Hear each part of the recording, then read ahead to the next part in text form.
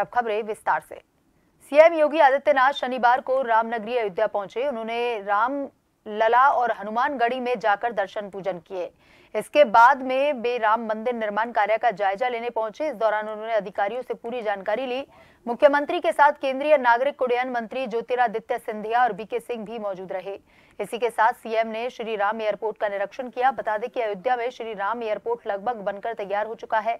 Runway का काम पूरा हो गया है।